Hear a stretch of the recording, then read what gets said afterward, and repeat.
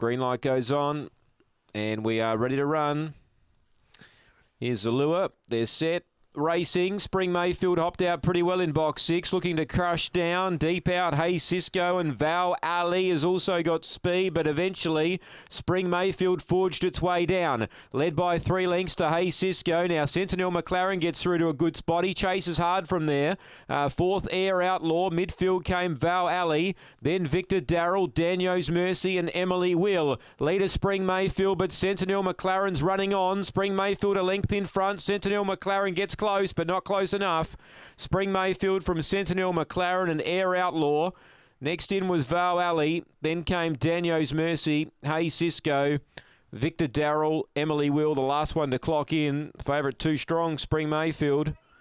Number six, 30 and uh, 60 that time. A new PB leads all the way. Sentinel McLaren got close, but just couldn't uh, reel her in. And number two, Third Air Outlaw doing its best work late. Number eight, fourth, Val Alley. Six, three, two, eight. Six, three, two, eight. The placings, 30 and 60 to run. Nicole Price, the winning trainer. Spring Mayfield began well. Was able to push over and find the lead. Sentinel McLaren lobbed second down the back, and for a fleeting moment, you felt that he may challenge, but Spring Mayfield had other ideas, and she had plenty up her uh, sleeve there. Forging clear to win from Sentinel McLaren and Air Outlaw third, eight getting fourth. So it's 6 3 2 8, 30 and 60 after race eight. Race nine is up next in about 23 minutes.